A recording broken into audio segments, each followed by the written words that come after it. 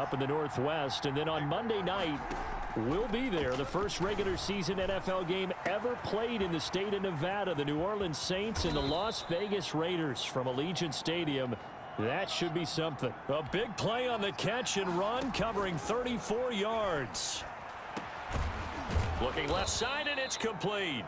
And he'll get this one down near the 20-yard line, just shy of the 20. They'll throw on first down with Jackson. Of course, he was solid last week. AFC Offensive Player of the Week award.